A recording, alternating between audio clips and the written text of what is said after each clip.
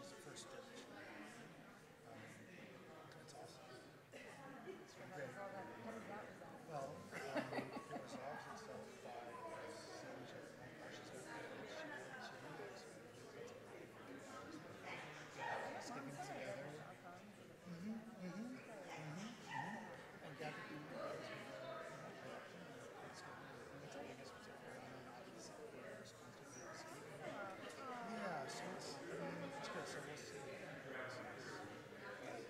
I think it's progressing, I mean, I mean, she could, it's flexible, so she's been DC for seventeen years.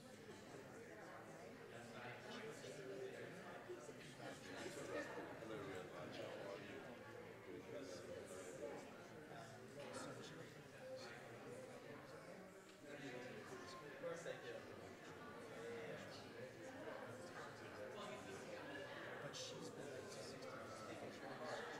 She's like, USAID, she's a staunch Democrat.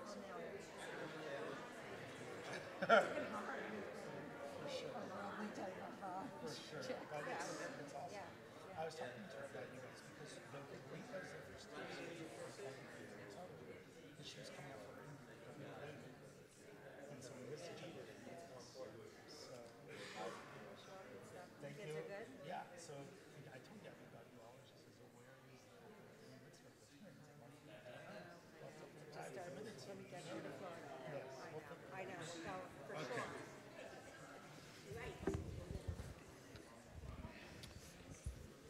Good afternoon, everybody, or good evening.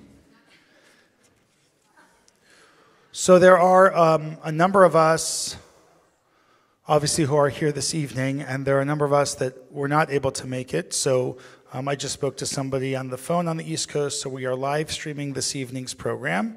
Uh, and so, therefore, um, if we want to get a copy of Rabbi Cohen's lecture, we'll be able to do that. Uh, before I introduce uh, Jenny, Dolly, and Steve's daughter, uh, I just wanted to share a few words for those of us that um, know Steve and knew Steve and will always know Steve Drazen. Uh, he had a big impact on this community. Uh, he was part of Or Tzion, before that Or Hadash, before my tenure here.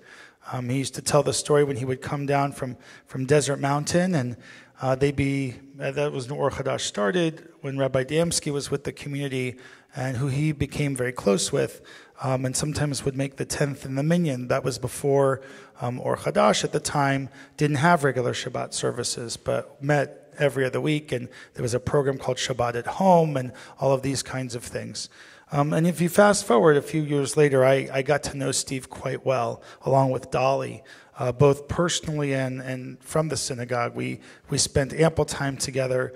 Um, when I first came, they hosted an evening for my installation. We talked about Rabbi Harold Kushner, and he came and installed me as the rabbi here. So we've had an ongoing friendship. Um, Steve used to sit in the front row. That was something that was important to him. Although he was very modest about that, he came with his talit, he came with his sidur, um, and went about his business, uh, and never having ego or anything like that, but wanted to always connect and stay involved. And so Steve was very involved in our congregation on our finance committee. He then became the co-chair of our Lador Vador Society with people like Trisha Baran and, and others that really, and Hannah Lang, that really set the tone for creating an endowment future for the congregation. Um, I remember fondly um, when Steve, I don't know, Dolly, if you remember this, and Jenny, if you remember this, but there was a um, Shabbat Hagadol, the Sabbath before Passover, that Steve recited. He re-recited the Haftorah, and he had practiced really, really hard for it, and it was celebrating his bar mitzvah anniversary. And um, it was, do you remember that? And it was really, really special. It was in the other building. Um, but it was a moment where he spoke about his Judaism and his love for Judaism. Um, as time went on, Steve began to talk to me about a gentleman named Rabbi Daniel Cohen. Uh, and I had heard of, of Daniel on numerous occasions from the Drazens uh, in Stamford, Connecticut um, but never really had the opportunity to meet Rabbi Cohen until he had come, and even then on the periphery, speaking a couple of times in the Phoenix community through um, the Life and Legacy Foundation, the Jewish Federation. He had come a couple of times to speak. Um, I really got to know Daniel uh, when all of us, Steve's family, um, graciously enabled me and allowed me and asked for me to come after I, I, I pleaded with them to go to do Steve's funeral in Stamford uh, just a year ago or so in January. Uh, and when I got there to the synagogue there, the conservative congregation that held the funeral for hundreds of people, I had the opportunity to meet Rabbi Cohen. Um, and we both shared words together and, and were on the bima together to um, acknowledge and eulogize Steve. And before the funeral started, I said to Rabbi Cohen, I want to already get something on the books. Do you remember this conversation? I said, I want to already get something on the books. I want you to come and speak during, uh, on the first yahrzeit of Steve Drazen and come and speak in his shul and in our shul. And we looked at the calendar, we put it in our phones, and here we are right now at this very moment. So I want to thank you, Rabbi Cohen, for being here. Um, I'm going to uh, leave us with just a thought, um, and that is the following. I mentioned this yesterday. Um, you know, the, there's a statement in Pirkei Avot, uh, the ethics of our sages, that says, um, Keter Shem Tov right? That the crown of a good name, Net Keneged Kulam, surpasses all of the other crowns of Judaism. Uh, and for those of us that knew Steve, he had such a good name. He was such an important person to his family, um, to our family here at Or Tzion, uh, and to the Jewish people in the entire world. And we're grateful to Dolly and to your family um, for sharing Steve with us during the time that we had um, we are very grateful. We don't take that for granted. And um, we know that you're in your own transitions in life right now. And uh, know that you always have a place here with us, and uh, as does your family. I'm going to invite Jenny Fuchs to come forward, Dolly and Steve's daughter, to introduce Rabbi Cohen tonight.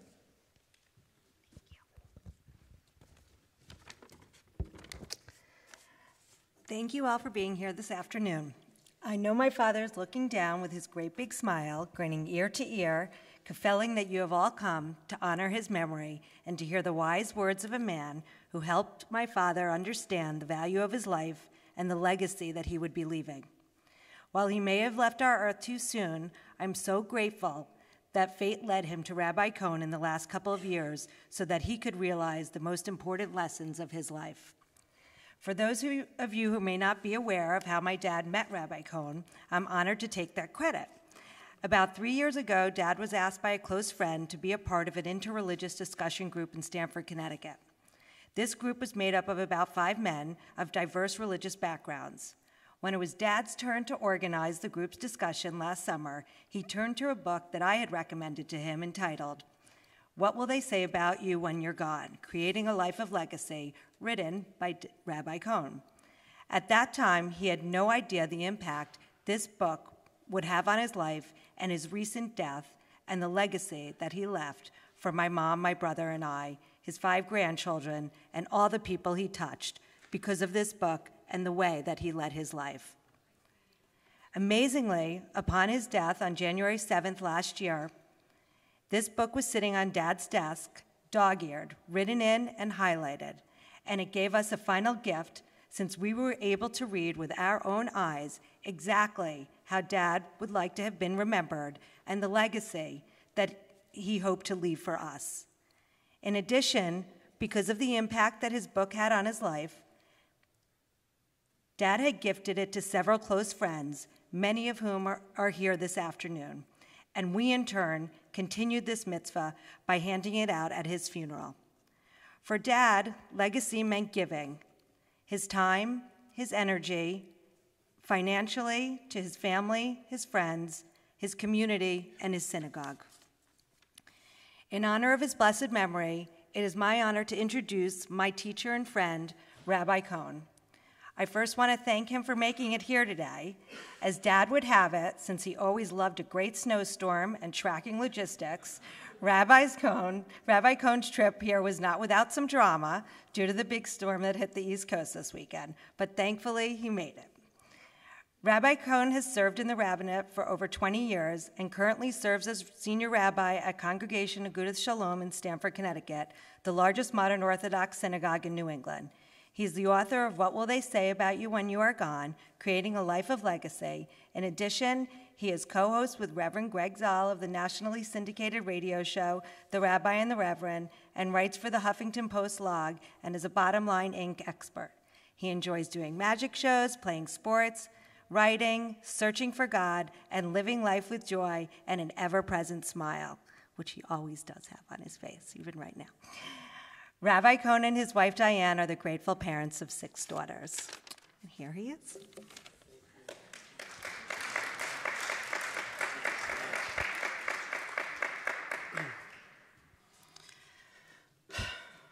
Thank you very much for that warm uh, welcome. Just a postscript. My oldest daughter got married about a year and a half ago, thank God, and we had our first uh, grandson five months ago. A boy!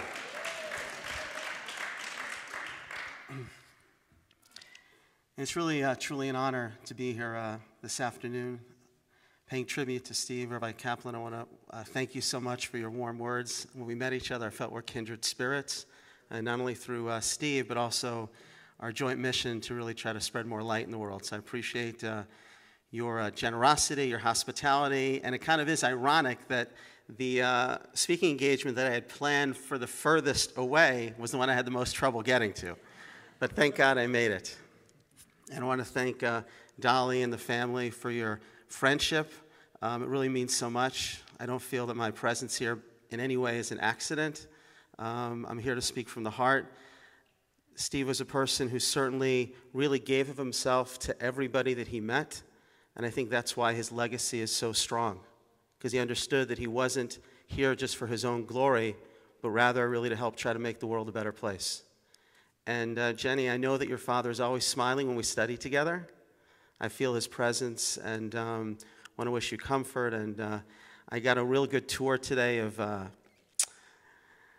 Phoenix. I went with uh, Adam and with uh, Steve's brother uh, Don. We went to the car show, which I'll get back to. I think that was the fastest tour of a car show that I ever had. Uh, but I thank you and also your generosity, of course, in trying to spread Steve's light. So, God willing, uh, through the words that we share this evening, his memory should serve as a source of blessing, and God willing, we'll share many happy occasions together with your family in the future. I want to begin actually by speaking about a heroine of mine that I think in many ways really encapsulates the theme for this evening, and in many ways what Steve represented. And that's the notion of becoming a blessing. We oftentimes say about a person, Yehei Zichro Baruch, that his memory should be for a blessing. What does it mean to be a blessing? And I want to go back in time to 1973 in Madison Square Garden on November 8th. Was anybody there? The Rangers were not playing and nor were the Knicks. And it was not a night of sport, but it was a night of spirit. It wasn't a night of selling merchandise, but it was a night of mitzvot.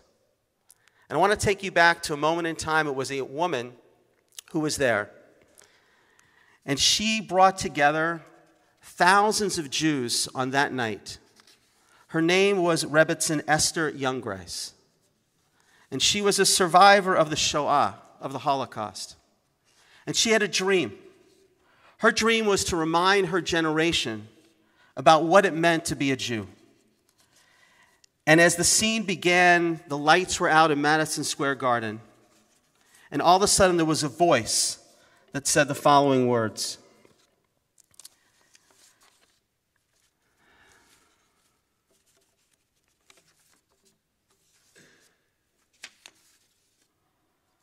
You are a Jew. You have created civilizations. You have given birth to every idea that shaped mankind. Justice, peace, love, the dignity of man have all had their genesis in your Torah. But above all, you have given the unique mission of proclaiming the wonders of God you are a Jew. And she opened up by reminding people of why they were here in this world. And she was invoking a message that was given thousands of years ago to Abraham. God speaks to Abraham many years ago, and he says, Lech lecha, go to the land of Canaan. Leave your homeland. And he says, I want you to go to this land, the land of Israel, the Heye bracha, and you will be a blessing. And Abraham was on a mission given by God to be a source of blessing in the world. And what does it mean to be that bracha, to be that blessing? How many of you here believe in the notion of becoming and being a blessing in the world? What does it mean? Do you want to make the world a better place? And what does that mean, that unique mission to be a blessing? So if you go back in time, in many ways, this to a certain degree is what Rebbetzin Esther Jungreis was sharing. She said, I don't want you to identify as a Jew because, God forbid, you're in a sense of pressure. You have to make a tough choice about what it means to be a Jew, but I want you to come to that from a sense of strength, from a sense of blessing, to realize what your mission is in this world. And the question is, what does it mean to be that source of blessing? To bring that bracha, to bring that blessing in the world? Because when I think about Steve's legacy, Steve was a person, when you think about what it means to be a blessing, who was an individual understood that it wasn't about doing things for himself, but every step along the way, he wanted to help bring blessing to the world. And the question is how do we do that? How do we create that source of blessing in our life? And I want to share some ideas with you this evening about what it means to be that source of blessing. And it relates first and foremost to having a sense of mission of what our purpose is in the world. There's a sense, of course, for each and every one of us about what our role is in this world. I had the opportunity today, as I mentioned before, to go to a car show. And it reminded me a little bit of a message that I saw many years ago when I was in California. I was opposite Century City in California, and there I was looking out my hotel window. And outside the hotel window, I saw all this paparazzi because there was a car that was pulling up, and I thought there was a celebrity that was getting out of the car. And I was wondering who is this person who's getting out of the car that everybody was focused on? Well, lo and behold, the person gets out of the car. And then I see after the person has left, they're still taking pictures of the car. And I realized that in that world, people were defining people not for what they do and not for what they are, but for what they have. They were confusing people with their roles and not their souls and who they really are. And as I said to Adam, he set me up for this because when I was walking around seeing cars today that were hundreds of thousands of dollars, he said, Rabbi, I'm taking you to the dark side. And now let's bring some ortzion, some light. Because we live in a world that sometimes it's very hard to appreciate what that source of blessing is all about. Who we really are. We're not defined by the jobs that we have, but we're defined by a sense of mission. We're defined by a sense of God endowing within each and every one of us a holy spark that's saying to me, to you, regardless of our level of observance, that I believe in you. When you wake up in the morning, what is the first thing you're supposed to say in the morning? Well, Shema is pretty good. We can give you a cookie for that one. Shema is not the first thing you say in the morning. What do you say? Very good. You say, Modeh ani lefanecha. And I was talking to my friend, you say, thank God. When I was in Colorado, I would say, thank God I'm a country boy. Say, thank God I'm alive. To realize that I'm not just taking life for granted, but every day I am recognizing that. I'm recognizing today as a gift. I'm here with a purpose. No day is an accident. No day should just run in from one to the next. And then what's fascinating is people forget the rest of Modeh Ani. You say at the very beginning of Modeh Ani, thank God I'm alive. And then you say in Hebrew, Rabba emunatecha. Which means great is your faith in me. It's not enough just to say, God, I believe in you, but to know every morning that, God, you believe in me, that I can be that source of blessing in the world, that I have a unique mission in the world. And the truth is, it's that realization that ultimately creates a sense of meaning and a sense of purpose that goes beyond any job that we have. Tonight's topic was becoming a blessing, discovering your renewable energy. If you define yourself simply by what your job is, by what you do, then you finish that job and say, What do I do next? But if you define yourself by a sense of holy purpose, then my job here in this world is to create blessing in the world. Then, no matter what my job is, I'm just having a new opportunity to fulfill that job, but just in a different vein. And that's ultimately what our mission is. To become a blessing is not only what Esther Jungreis said, it's not only what Abraham was told, but it's actually what Moses is told, and he tells the Jewish people at the very end of his life. Moses says at the very end of his life, he literally has days to go, and he makes a very odd statement to the Jewish people. He says, See, I have given you today the choice between life and death, blessing and curse. And then he says, I'll say it in Hebrew because it sounds better, Uvacharta b'chaim, choose life. And when he's saying choose life, why wouldn't I choose life? Why do I need a commandment to choose life? What was Moses saying? Moses was saying that sometimes you can get so paralyzed by the world around you, so stuck sometimes is what is happening in the world, you forget that every day you have to make a choice to turn a fleeting moment into something which is eternal, to make that difference, to create that blessing.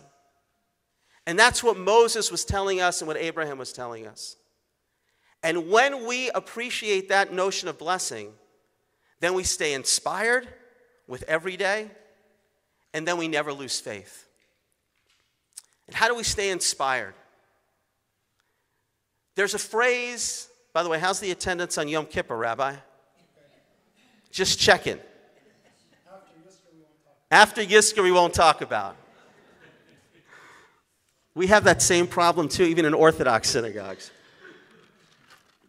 But I want to tell you something, and this relates to what it means to be a blessing. At the very end of Yom Kippur, we make the following statement We say, God, I am sorry for stealing from you.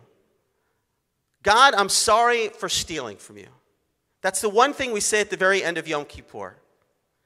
Now, if you look, you'll see it in many of the liturgies. The question is, what are we saying at the very end of Yom Kippur?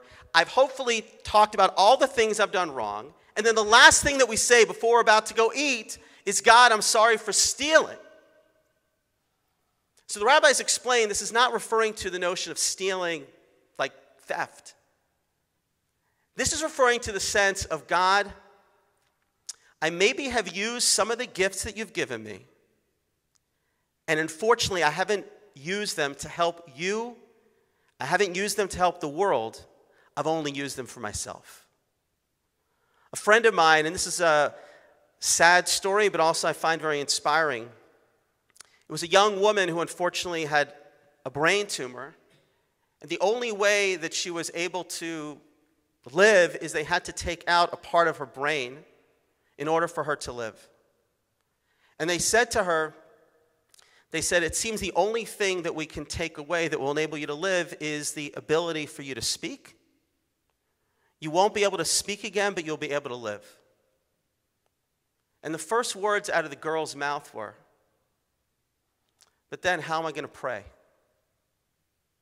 But then how am I going to pray? She didn't ask, well, then how am I going to talk to my friends? How am I going to pray? She understood that whatever she had ultimately was for the blessings that God gave her. And when we talk about this notion of blessing, it means really thinking about deeply the resources that I have, the time, everything that I have, how am I using that ultimately to serve God? And that's part of the realization of being a blessing. And then the question becomes how do we develop that renewable energy? We develop that renewable energy And I shared this with Jenny. I won't put you on the spot. Jenny, come up here for a minute. Come on, Jenny. This is in memory of your dad. We need a little action here. This is okay. I will not quiz you too much. Okay. I think you remember this part, though. We actually practiced beforehand. so we were talking together, and here's the easy I'll give you a softball, okay? Who was the one that was afraid to take God's mission in the world? Moses. Moses. Good. That was, give her a big round of applause. That was good. I know, I know. I could have given you a little bit more. But it's interesting because Moses is a person that knows his role in this world is to be a blessing. That's he knows Abraham's mission. The problem is, anyone know God appears to Moses and he says to Moses, he says, I want you to be the one to go speak to Pharaoh and to save the Jewish people. Does Moses take the job right away? What does he do? He complains to God and he says, God, I can't speak, I can't do this, I can't do this. Right? And God actually gets very upset at him. And God says to him, He says, Who do you think gave you the power to speak? Who do you think gave you the power to hear, to see? It is I. And if I gave you this power, I know you can do it. I know you can do it. And God says to him key words. He says to him, imach, I will be with you. And Rashi says there's something interesting. What was God telling Moses? He said to Moses, Shali, I'll translate in a minute. Velo shelcha. This mission that I sent you on is not about you. It's about me. If you think I'm sending this out, you out so you can be famous, it's all about you, Moses, you're not going to make it. But if you know that I am your ambassador, that you're working for me, that you have a mission in this world, anything is possible. And Jenny, you said to me at that time, I remember sitting in the class, you said, My father would tell me that. He said, I'm not asking you to do something that I don't believe that you can do. And that was the kind of chizuk, as we say, that he gave. I think to a lot of us, somebody actually said to me here, I got a book from Steve. I thought I was one of the few who got a book from Steve.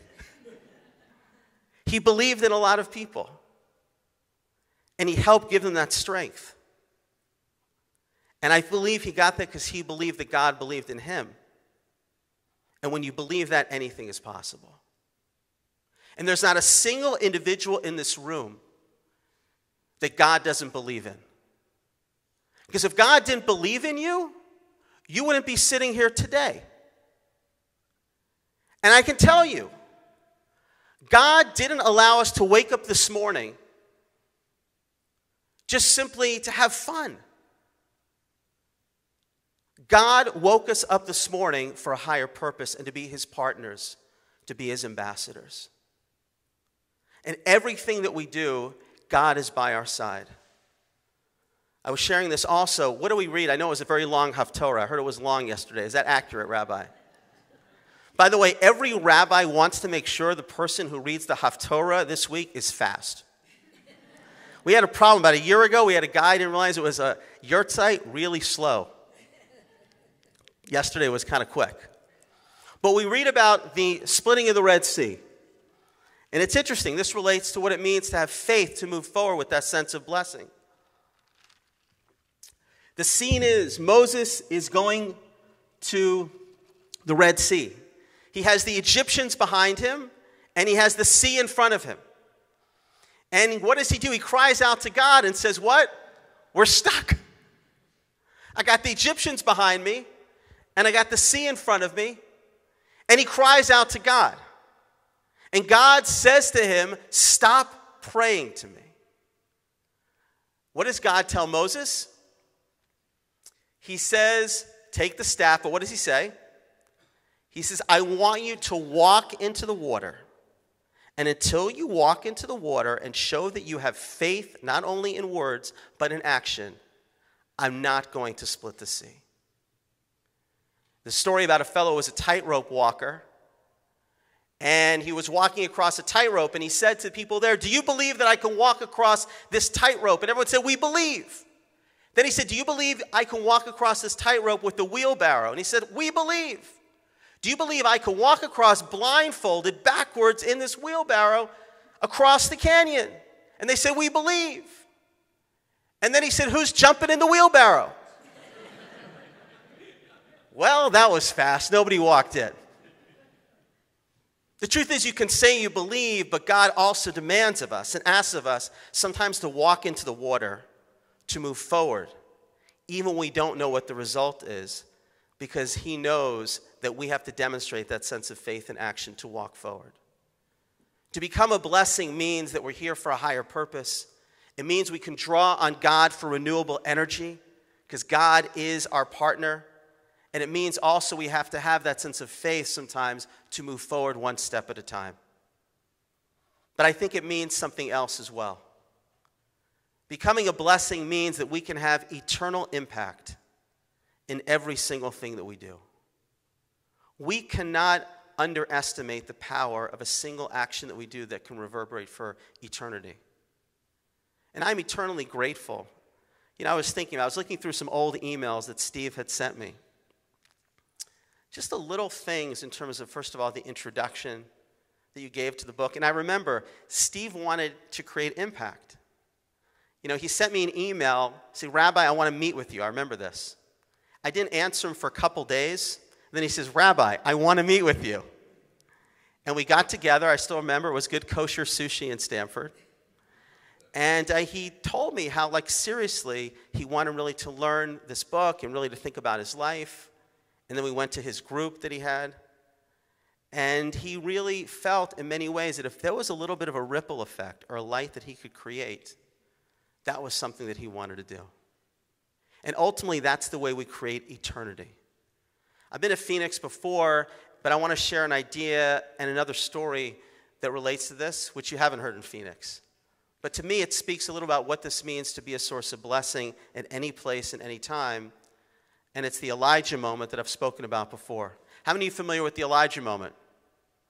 Wow, I got to come to Phoenix more, let me tell you. So, the Elijah moment is really something rooted, I speak about it in the book, which is this notion that no matter what little act you can do, you may not be able to change the world, but if you change the world of one person, you can make all the difference. And it's based upon the story about Eliyahu Hanavi, Elijah the prophet. How many of you have seen Elijah the prophet before? Did he come to your Seder? Well, he was in my Seder too. Oh my gosh. So a man went to his mystic and he said, I want to see Elijah the prophet. And Elijah, he was told, he said, if you go into the forest, bring some food for the Sabbath. There's a widow there, and if you spend Shabbat there with the widow, you'll see Eliyahu Hanavi. He goes there Friday night no Elijah. Saturday, no Elijah. Finally, Sunday morning, he still doesn't see Elijah the prophet. The mystic says to him, he says, Go back the next weekend, bring the food to the widow, and you'll see Elijah the prophet. He goes deep into the forest. He's within earshot of the woman's home. And he hears a young child crying out to the mother, saying, Mommy, where are we going to get food from for this Sabbath? And the mother turns to the child and says, Just like Elijah the prophet came last week, Elijah the prophet is going to come again. And it was in that moment that he realized that he was the Elijah the prophet that this person was waiting for.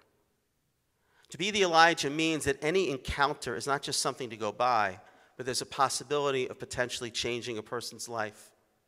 Mark Twain said many years ago the two most important days of your life are the day when you're born and the day when you understand why.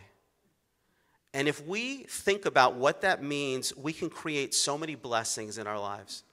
And something happened in my synagogue a few months ago that I think is a wonderful example of what this means. Do you guys have a? Um, I see you have an officer. Do you guys have a police officer in front of the synagogue here? When? Just on Shabbat? Yeah. So we started to, unfortunately. And I make it my business whenever I come in on Saturday morning, I always try to ask the name of the officer. And sometimes I'll quiz the congregation because I see he's a real person. I said, Does anyone know the name? I want to make sure I know the name of the person. So I came in on the first day of Sukkot and I said, What's your name? He said, My name is Brett Gardner. And by the way, he's not the outfielder for the New York Yankees, he's a Stamford police officer. And I said to him, Thanks for being here today.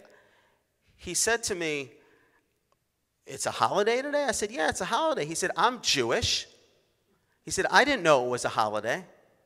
I say, Yeah, today's a holiday about the Sukkot, the booths, it's a holiday of faith. And then he volunteers to me. He says, I didn't, he, I didn't even have a bar mitzvah. And I said to him, Well, today's your lucky day. You're talking to the rabbi of the synagogue. so I said to him, Look, Steve, uh, Brett, I said, after the holiday, I will reach out to you at the Stamford Police Department and I will teach you how to read Hebrew and we'll invite you into the synagogue for a bar mitzvah. And he says to me, Rabbi, my mother will never believe it. I said, Tell your mother you're going to have a bar mitzvah. And then he looks at himself and he says, Yeah, but I got all these tattoos on me. I can't have a bar mitzvah. I said, It's not what's on you, but it's what's in you, and God willing, you have a bar mitzvah.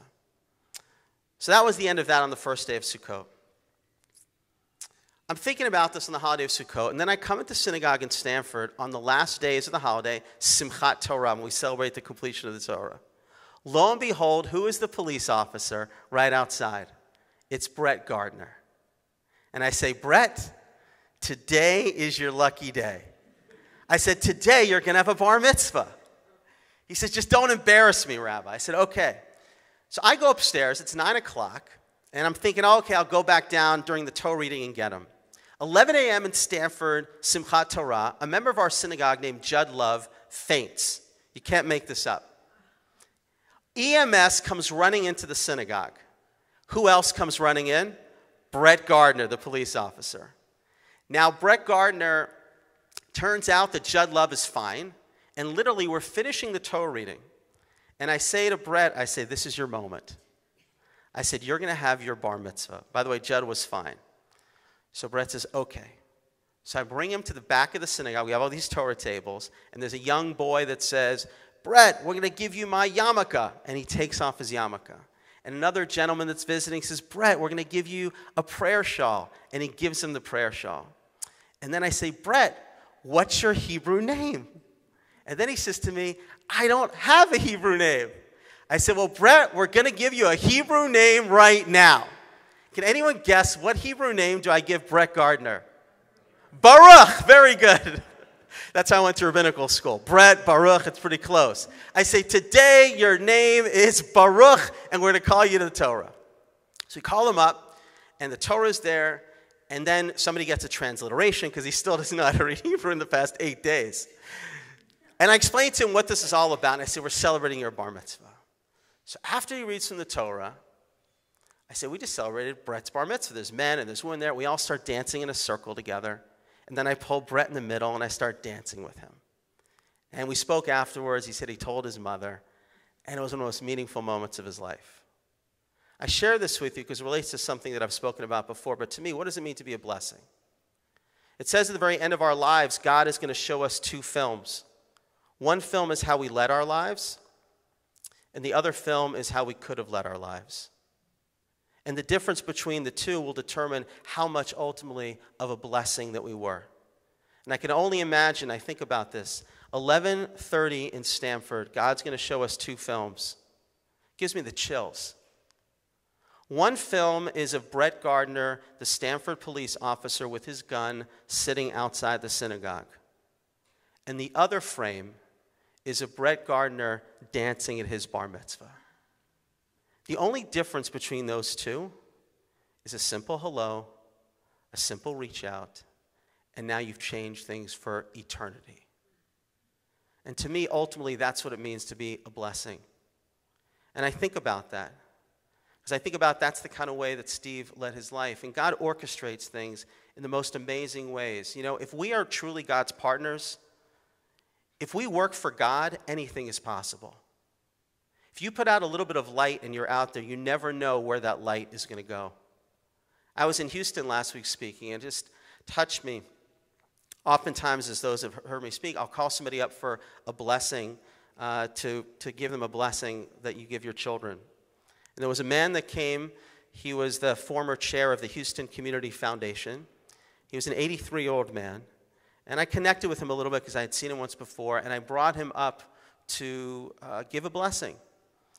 And after I gave him the blessing, he was very moved by it, and he said to me these words He says, Thank you, Daddy. And I gave him a hug. I had no idea what he was talking about, but he said, Thank you, Daddy. We gave him a hug. I only learned afterwards that he had lost his wife about five months ago, and he himself was battling with his own health issues. Then he came over to me and said, Rabbi, that meant a lot to me. He said, The last time I received such a blessing was from my father at my bar mitzvah 70 years ago. And he's saying to me, Thank you, Daddy. And I have no idea what's going on in his head about how this moment created an impact for him. And ultimately, that's what life is all about. I just spoke about a week ago about my mother, and I want to share this with you. My mom passed away 30 years ago. She had a brain aneurysm when she was 44, and we just commemorated her 30th anniversary. And I shared that I feel that my mother's presence is with me all the time. And part of that is because she was a person who also created blessings all the time. I spoke about her hospitality, and it was amazing. I was once talking about we had a generous home. People would always come to our home if they needed a place. My uh, aunt is here, and she knows my brother. He would just bring people home from synagogue all the time. And my mom was a good spirit about it. And a number of years ago, I was speaking, and a woman raises her hand from the back. This is in Westchester. Said, Oh, by the way, your mother hosted me, and she was like really helpful to me about 40 years ago. She was a student in New York. She came off a bad breakup and she decided to go to Emory Law School. And she said, I was really in a deep funk. I just lost my boyfriend. And your mother took me in. I shared the story in synagogue, and the fellow who sponsored the Kiddush, his name was Scott Berger. He comes to me at Kiddush and says, Oh, by the way, my brother, Michael Berger, always talks about how your parents gave them hospitality when he was visiting from Israel. Steve and we all can plant so many seeds. And the more that we do that, the more the blessings are eternal. And I believe because of the life that he led, and I take Rabbi Kaplan's words, you know, he said, You may be leaving physically this area, but the presence of Steve and what you've given to this community are going to be eternal. Because he believed, as I think we all do, that every day there's something unique to contribute. And I just want to conclude, you know, tonight is a holy night. I don't think we planned this this way. Tonight is actually Tu B'Shvat. Tu is a celebration of the planting not only of the trees, but celebrating of potential of things that we put out there and we may not reap the benefits of until years later. It says, a very odd midrash, it says that when the Messiah comes, it says if you're, you're supposed to, let's say the Messiah came, so you go to greet the Messiah, that's pretty big news. There's one exception. It says if you're in the middle of planting a tree, finish planting the tree and then go greet the Messiah. What are you doing? You're planting a tree. Go greet the Messiah. The answer is no. Symbolically, it's saying, be a blessing, continue to plant those seeds, and ultimately that's a blessing that will endure forever. My hope and prayer is, is that we inculcate within us that spirit. You know, Stephen's Hebrew name is Shmuel ben Avraham. And Shmuel name means I hear a voice. And by the way, I don't believe he was hearing voices. Not in that way. But he was hearing a voice that he understood that God was calling him to try to be the best that he could be with the light that God gave him every day, and then to take that light and share it with the world. And he could say, Hineni, God, I am here, not for my own glory, but for you, God, and really to help try to spread the light. And certainly he did here. I know he does through his family. And God willing, in that way, his light will continue to shine. And I want to conclude with the words the Rebbetzin Esther Jungreis said in 1973 at the conclusion of her talk. Because when I was reading this, I thought also about Steve. She said, Within every Jew there lies a spark, a flicker of light, a teeny flame. And if you wish it, that teeny flame can become a great fire from which the words Hineni, here I am, my God, shall emerge. My children, come home. And that's what he embodied. And God willing, all of us will continue to spread that light. One candle lights many flames. We certainly can say, Yehei Zichrono Livracha, his memory is a source of blessing. And God willing, for all of us, will remember, and I say this to everyone we are not our roles, we are our souls. We're here not just to accumulate, but we're here to do. And God willing, if we appreciate that, His blessing and ours will continue to reverberate, midor lador, for many, many generations to come. Thank you.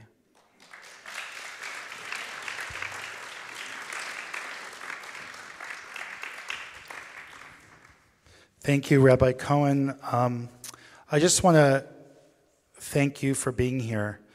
Um, we are grateful in your enthusiasm and your godliness and your soul um, have given us much to think about, and we are grateful and uh, thrilled that Steve aligned the weather appropriately for you to be here uh, tonight.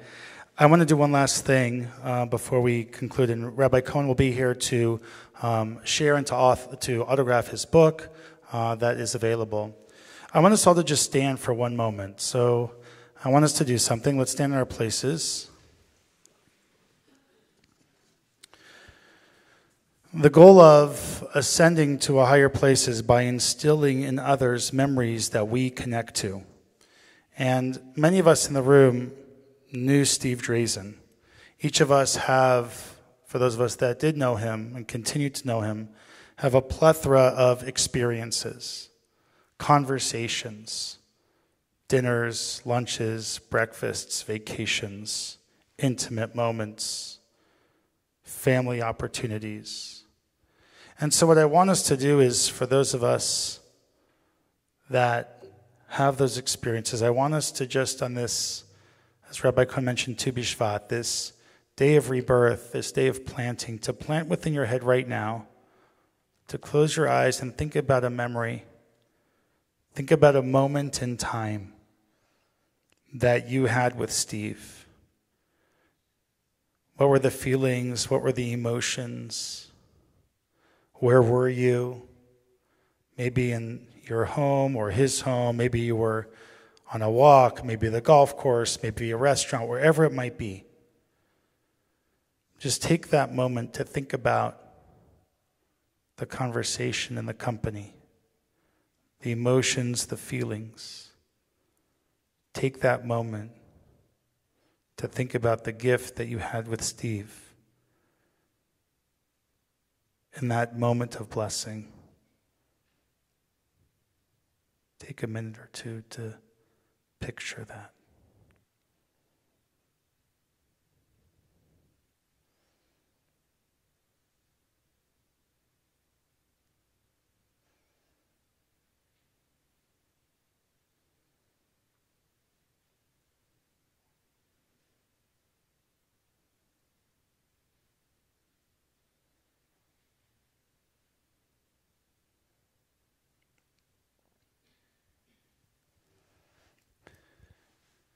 And as you hold on to that story, this shouldn't be the last time that you think about those moments.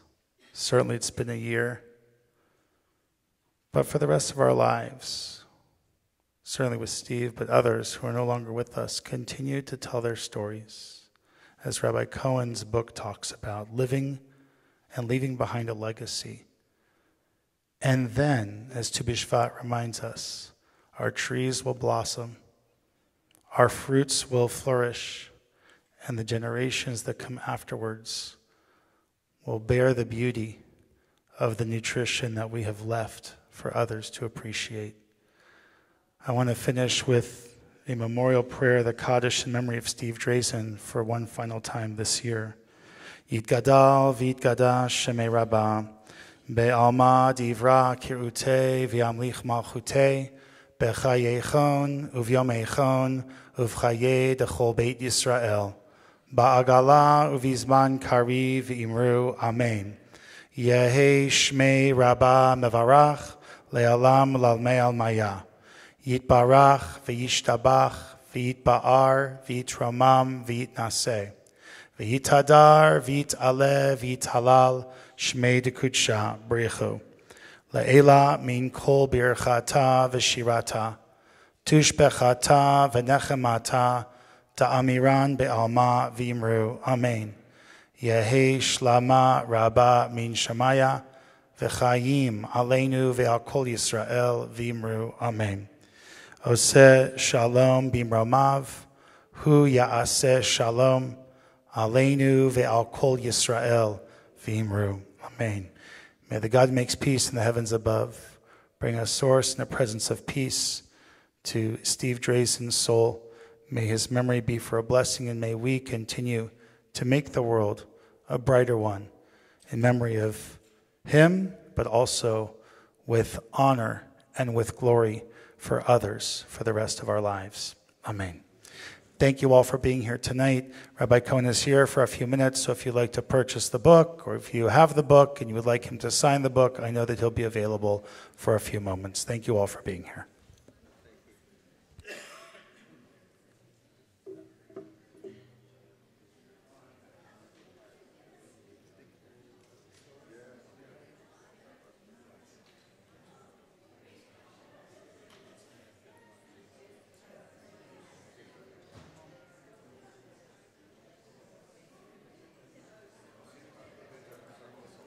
Oh, yeah?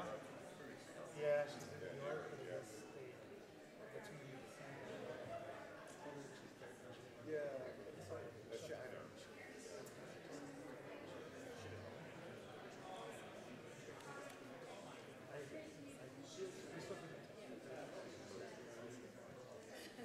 Thanks again. Thanks. great. Have you autographed a few books for a gift? Of course, let's do it. And I want to tell you an Ezra story. I stories. Okay.